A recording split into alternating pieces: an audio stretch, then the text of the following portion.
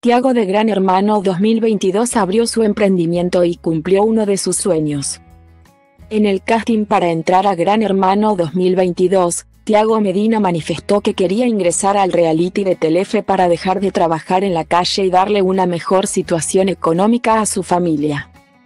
Este lunes en el programa de Georgina Barbarosa, a la Barbarosa, el joven de la matanza mostró que logró cumplir en parte lo que alguna vez tanto soñó.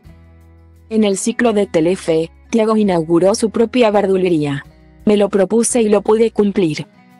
Exclamó el ex Gran Hermano 2022, que estuvo acompañado por algunos de sus ex compañeros. Estoy muy feliz porque sé que lo quería mucho, lo deseaba mucho, además de la casa. Y le deseo el mejor de los éxitos, manifestó Romina, que fue alentar a Tiago. No tenía dudas de que lo iba a lograr, todo tiene su tiempo, y ahora a emprender en algo que es de él y de la familia. Destacó Alexis, que también estuvo en la apertura del negocio.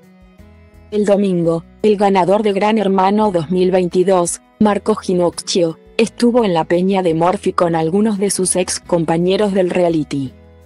Julieta Poggio, Daniela Celis, Romina Urig, Marco Ginocchio, Nacho Castañares y Agustín Guardis. En el programa de Telefe, el salteño recreó junto a los hermanitos la coreo que tuvieron que armar para una prueba. Al ritmo de Con Calma de Daddy Yankee. Disney como le decían en la casa fue la encargada de dirigirlos.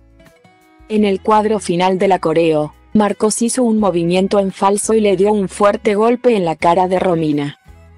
De todos modos, los chicos lograron continuar y terminar con la réplica de lo que hicieron en el reality. Cuando terminaron, Romina soltó una carcajada, al igual que sus ex compañeros. Al parecer, los ex participantes de Gran Hermano 2022 mantienen un excelente vínculo, más allá del programa.